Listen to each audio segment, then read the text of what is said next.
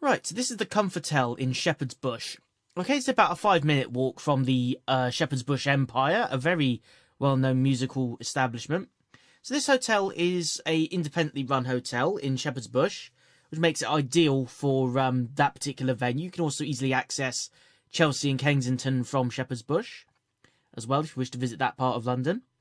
Overall, not the most wheelchair friendly place because there are no lifts in here. It's a, seems to be a renovated old house from the Victorian era. Um, my particular room, I was sport for choice on beds, as you can see. I had a double bed and two single beds, three beds to choose from. How special! And um, yeah, so overall, the room was well stocked, and the bed was comfortable enough. There were plenty of charging bits next to uh, the bed, which I made full use of. Uh, the bathroom itself was in pretty good nick for the most part. Obviously, that mirror was a little dented, but a little bit of cosmetic uh, damage is not nothing to worry about. Found it a bit weird that I had a proper bottle of air freshener in that bathroom. Um, shower, there's a bit of limescale built up on the shower head, as you can see, but nothing to overly worry about. But there are quite a few bits that run down in this particular hotel room I stayed in. I will be doing a more detailed review in a moment, which uh, I'll run you through.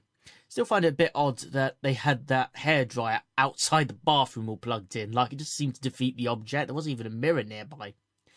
Teas and coffees were provided uh, in this particular room. They did the trick. Everything was clean.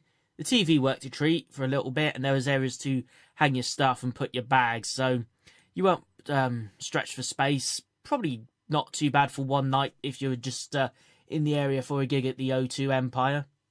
Yeah, a bit of scuff marks on that. It's had a bit of action.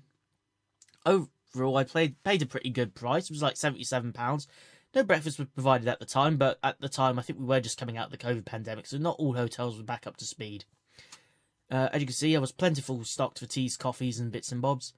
And there's my fantastic view. Now, over to Tyler in 2022 to fill out the rest.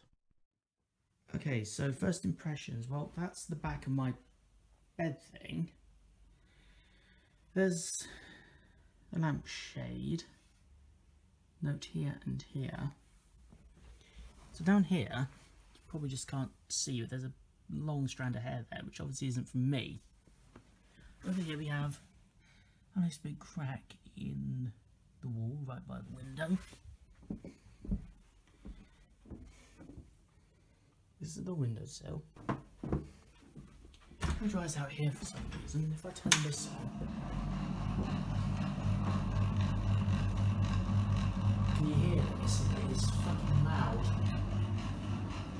Toilet is all nice and good, nice and clean. Then we get to the shower.